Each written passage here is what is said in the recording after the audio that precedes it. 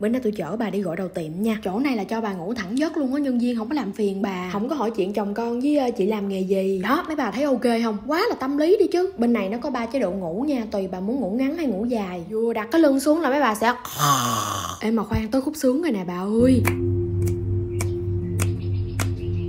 Chưa chưa còn khúc này nữa nè bà nghe kỹ nha một cái rắc tao nói nó phê gì đâu luôn á. Chưa hết đâu má, còn cái vụ rửa bọt lỗ tai nữa, trời đất ơi, tao nói da gà, tao nó nổi lên cục cục tại sướng á.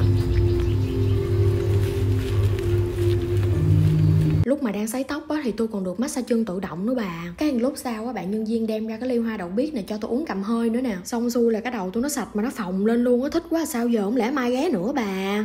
Bữa nay đi gọi đầu ở một cái chỗ lạ lắm nha, Nó vừa có cái nét của resort nghỉ dưỡng Mà nó vừa có cái nét dưỡng sinh Trung Hoa làm sao ta? Bước vô cái phòng gội đầu có hai cái thùng lớn là thấy lạ lắm rồi đó. Còn cái làn sương khói này nè là người ta xông tinh dầu để mình úp mặt xuống thấy dễ chịu hơn á. Bây giờ nằm sắp lại cho người ta massage xong rồi người ta sẽ trét cái bùn nóng lên lưng của mình. Sau đó người ta sẽ bật một cái đèn hồng ngoại lên, chiếu thẳng vô cái lớp bùn đó để giữ được cái độ ấm ấm. Cái này nó có tác dụng là bài trừ cái hàn khí trong người của mình nó hay hay bà?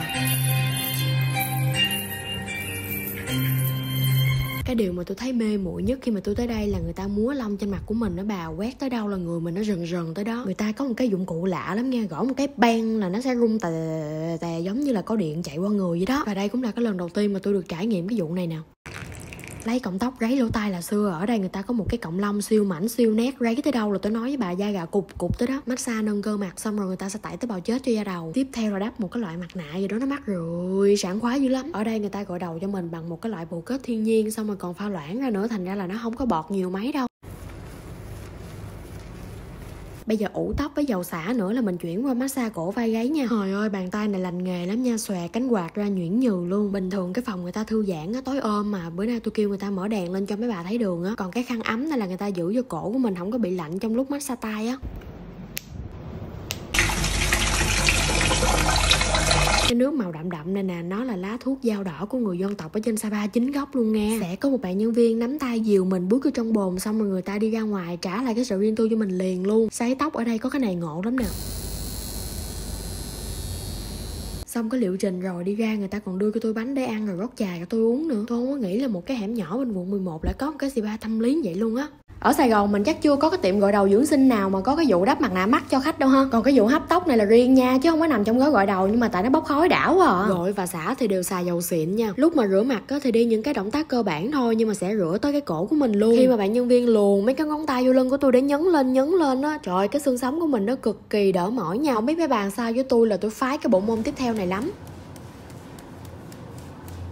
cái khăn mà bà trường lên trán tôi á, nó nóng nóng ấm ấm đã lắm. Xong cái bà kéo cái khăn ịn qua hai bên thái dương vậy nè, thấy nó tuần hoàn máu lắm luôn á. Tôi tưởng là đấm bóp rồi sấy tóc bình thường thôi à ai già sấy tóc bằng máy Dyson. Rồi chải đầu cũng bằng lượt Dyson luôn. Thiệt ra là cái lúc mới vô tiệm á, là tôi làm nail trước rồi mới gội đầu. Là tại vì thấy cái không gian nó quá xinh, nó quá Hàn Quốc đi. Hỏi ra thì mới biết là cái dòng sơn nắp nhọn này nè, là chị chủ bá sách từ bên Hàn về luôn á. Đúng là người giàu mở xì ba có khác ha. Ở đây nó có cái bảng màu seri trà sữa dễ thương lắm má. Muốn trà đậm, trà lợt gì cũng có hết trơn á. Đầu tư tới mức mà có luôn bao tay chống tia UV cho mình đừng có bị nóng đừng có bị đen da luôn á. Đây là cái bộ nail cũ màu cháo lòng của tôi. Còn đây là cái bộ nail trà sữa mà tôi mới làm có ẩn xà cừ kim sa đồ đó. Tôi thấy ai vô đây cũng được tặng quà hết trơn á chứ không phải tại tôi đẹp rồi người ta mới tặng đâu nghe. Còn cái bà nhỏ này bà xịt dầu thơm mắc tiền vô cái giỏ của tôi nè trời. Cái tiệm này nhìn nó dễ thương từ cái tấm bản hiệu cho tới mấy cái món nhỏ nhỏ linh tinh ở trong luôn á. Cái khúc này là tôi đang hỏi bả về cái vụ nói mi để đợt sau tôi ghé tôi làm nè